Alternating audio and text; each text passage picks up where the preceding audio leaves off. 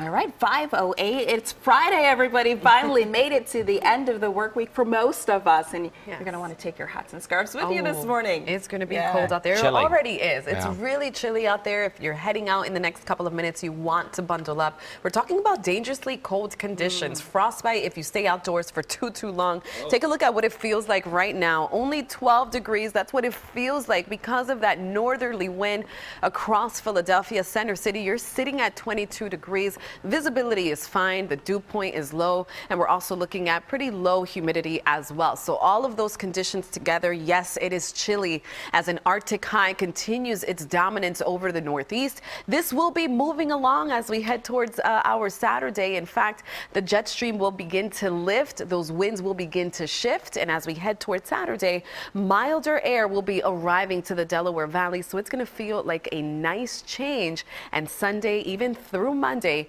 we remain with well above average temperatures. Now let's take a look at some of these numbers for us. Today's high only 37 degrees, so very cold out there. That's what we'll be topping out at. And then as that milder air arrives, those winds begin to shift. We'll see those temperatures climb nicely into the 50s both Saturday and Sunday. Temps remaining in the 50s on Monday, but notice the icon, more cloud cover for Monday. Also the chance of rain.